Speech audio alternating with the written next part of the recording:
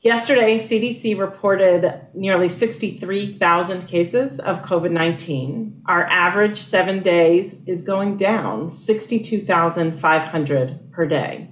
This is a 10% drop in average cases from the prior week and a hopeful trend.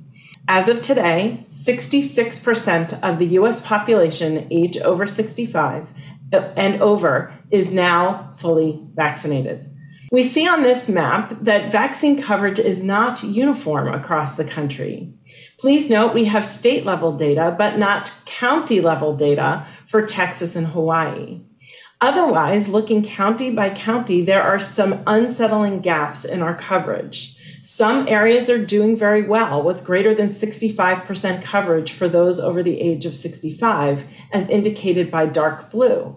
But many areas have far less coverage, less than 47%, as indicated by the lightest shaded areas.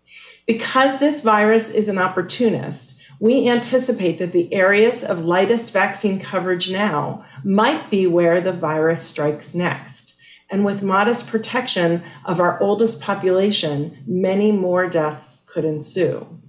So while we have many reasons to celebrate, we also have the potential indeed the need to do more to protect people now.